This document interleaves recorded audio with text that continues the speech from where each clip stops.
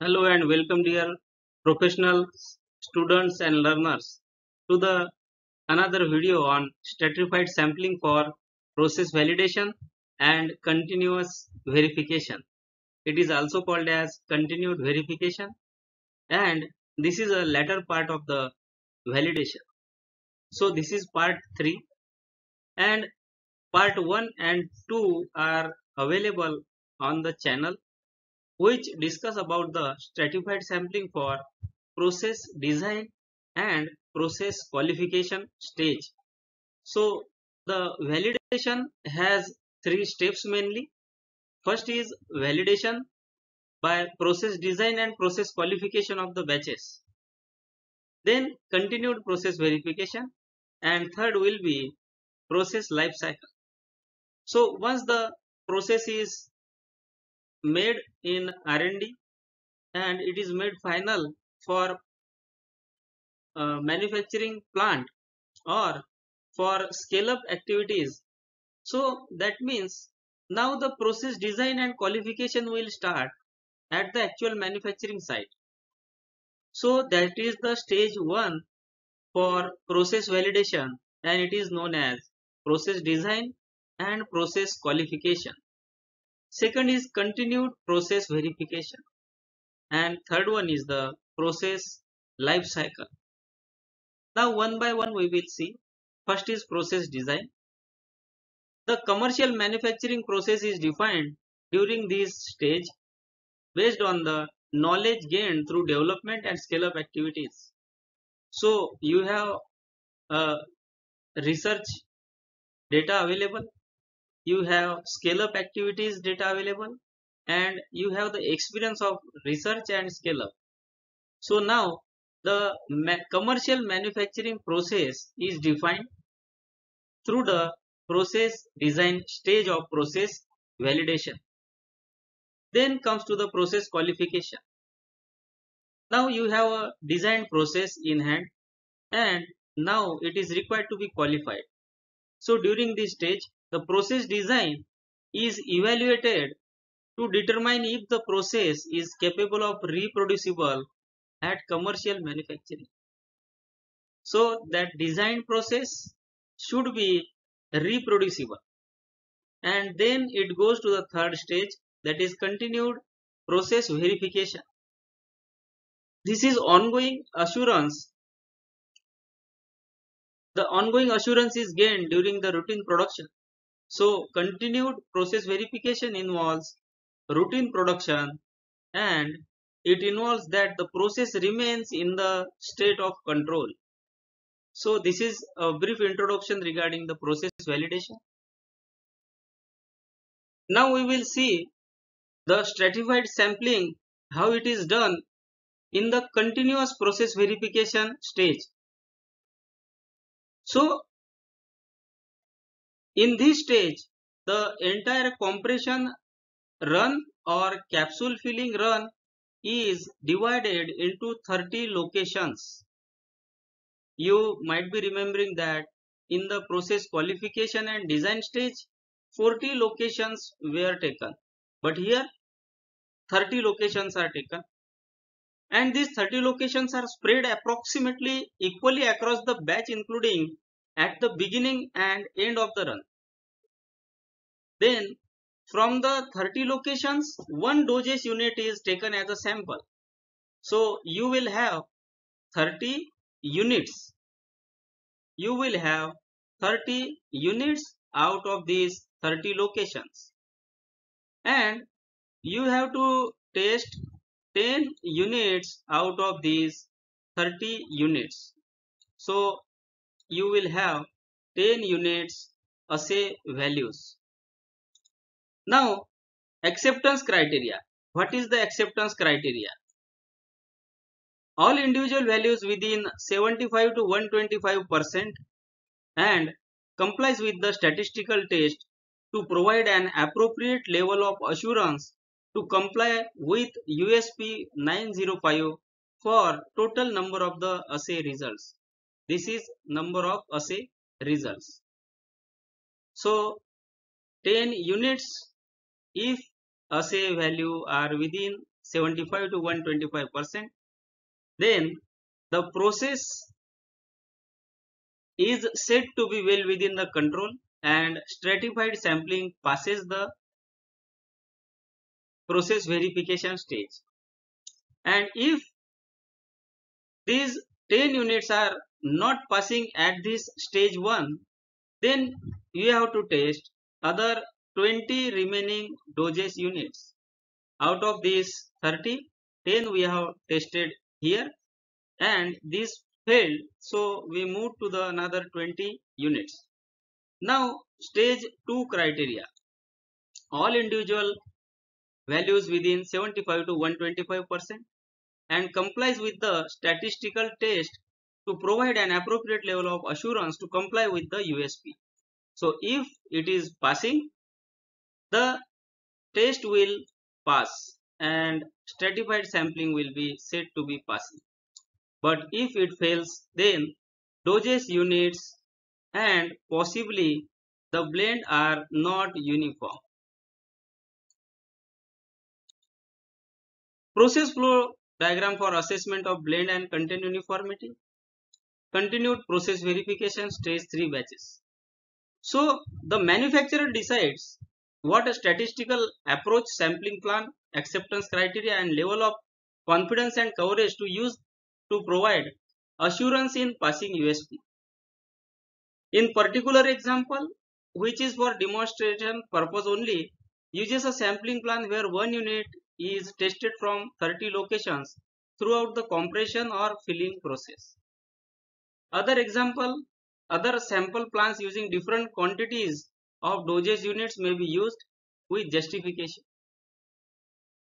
See, this is because the in-process dosage unit data can also be used as surrogate test for both batch release that is non-weight corrected data and blend uniformity a system, systematic sampling plan should be used to identify the position of sampling locations and ensure samples are taken throughout the entire batch, including beginning and end of the run locations. So what is the meaning of this? That manufacturer decides what statistical approach, sampling plan, acceptance criteria and level of confidence and coverage can be taken See, the additional sampling may be taken or may be justified based on the results. But these location should be well distributed throughout the process run. It should not be like that the initial samples are taken or middle samples are taken or end samples are taken because on the results of these 30 locations the manufacturer is going to release the batch. Then coming to the stage B, stage 1, what we have seen in earlier slide that is going to be taken here in detail.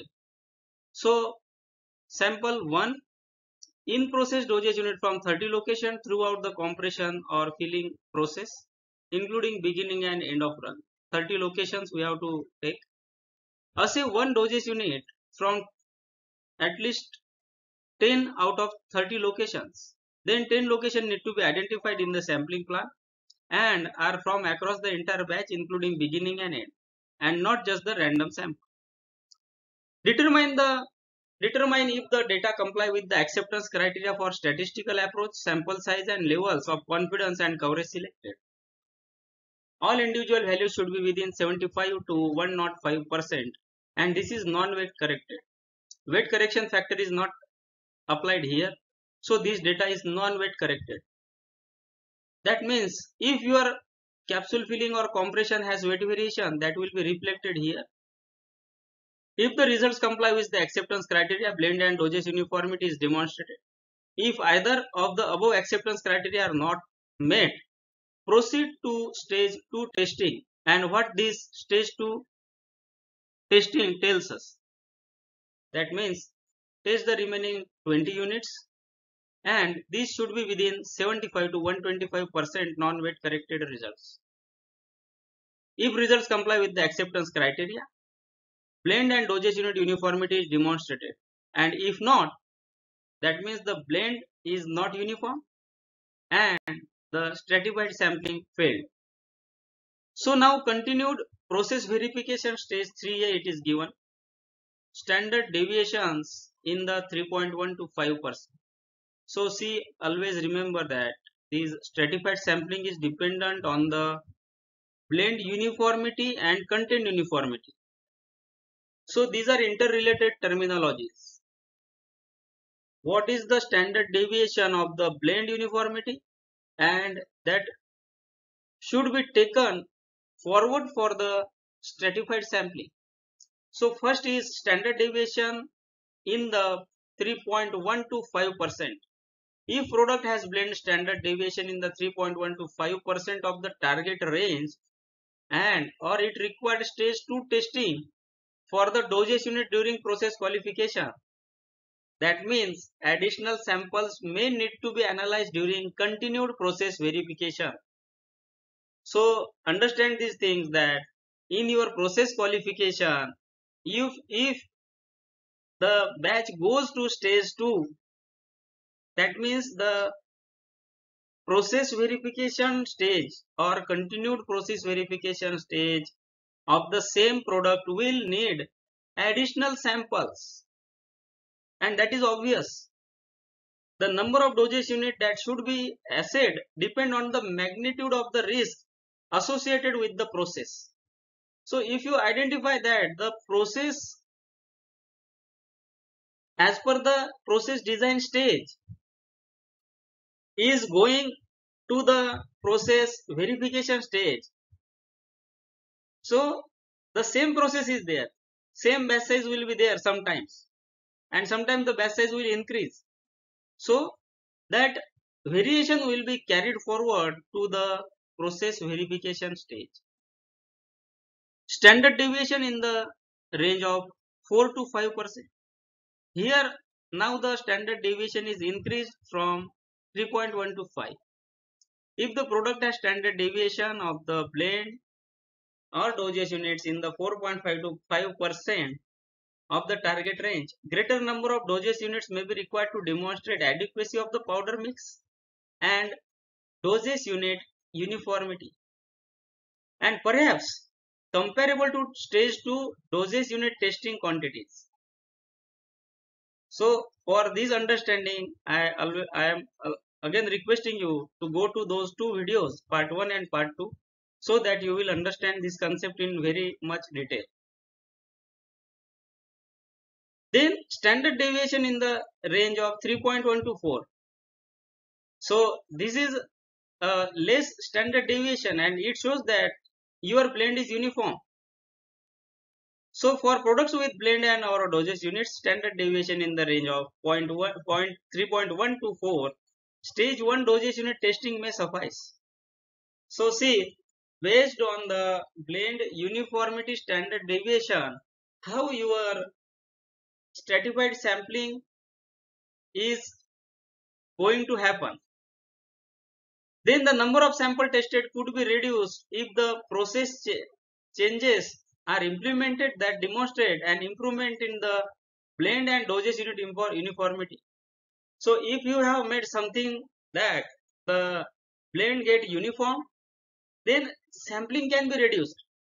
Testing may also be reduced after due diligence effort to improve the process still results in high but consistent and acceptable standard deviation for the blend and or dosage unit data indicating that this is the best uniformity that the process can achieve. So every process will have some uh, variation. You cannot claim that or you cannot say that the research if it is done then the process will have very very less variation no that is intrinsic nature of that process and the composition and manufacturing uh, technology so the efforts can be taken to reduce the blend uniformity variation. And based on that the effort can be taken to improve the process. And standard deviation can be reduced. But one point will be there where the best uniformity will be from that process.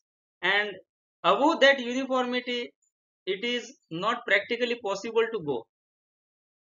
So that means for example if uh, in the process design stage blend has a standard deviation of 4.5 so by taking some precautions doing some efforts uh, and studying the process in detail you can take it to around 2 but it is not necessary that it will go to 0 or it will go to 1 so it is like that then coming to the process life cycle one implement one one element of the continued process verification is to monitor process performance across the batches so process life cycle involves the study of the process and its reproducibility. So process performance will be checked across the batches. Then standard deviations, acceptance values or other metrics for dosage unit uniformity could be monitored across batches to detect any trend or shifts in the manufacturing process over the product's life cycle. See in the product life cycle some of the processes get improved. Some of the processes remain as such as in the design stage and some processes may become worst. So the pro product life cycle or process life cycle is the element of continued process verification which monitors the process performance across the batches. So suppose you have taken 100 batches and you have to take the process life cycle approach to study how the process is performing across the 100 batches. So I think this is completed for the process verification stage for stratified sampling. The references uh, I have taken from these guidelines from US FDA process validation general principles and practices and one article is there which is recommendations for the assessment of blend and content uniformity so you can go through these guidelines and uh, articles to get more in-depth understanding. Then these two videos are available on pharma learning in-depth channel which is stratified sampling for process validation part 1 and part 2 these are also referred here. So watch these two videos for complete understanding of the stratified sampling. I hope you might have got a good understanding out of these videos so in summary we have seen the stratified sampling for process validation and continued verification see this process validation and stratified sampling is always a favorite topic of the interviews and it is always asked in the interviews for pharmaceutical industry. Thanks for watching the video. Please do like, share and subscribe to Pharma Learning in Depth channel. Thank you.